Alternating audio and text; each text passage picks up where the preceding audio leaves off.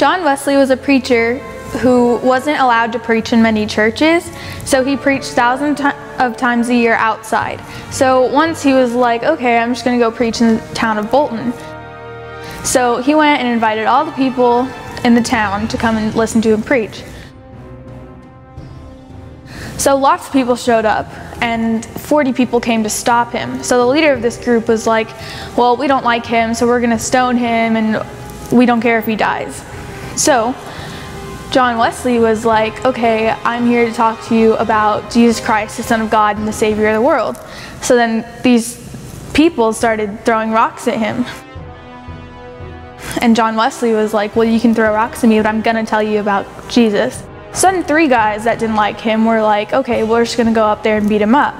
So the first guy ran up there and he got hit in the head with the stone and was like, that must have been God trying to tell me something. And then he admitted that he was wrong and accepted Jesus as his savior. So then John Wesley was like, that's pretty weird. So the next guy ran up and he was like, I don't like you either. So he started like going after him, but he got hit in the head with a stone and got knocked out.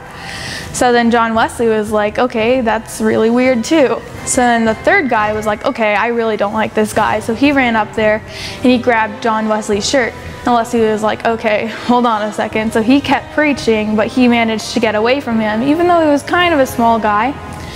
He didn't weigh very much, he wasn't very tall, but he managed to get away from them. And then the attacker got hit in the head with a stone too. He was like, oh, I'm wrong too. I accept Jesus as my savior as well. And then John Wesley was like, that's pretty crazy but that's really awesome. So John Wesley was like, this just keeps getting better and better, so I'm gonna keep preaching no matter what. Is that what he said?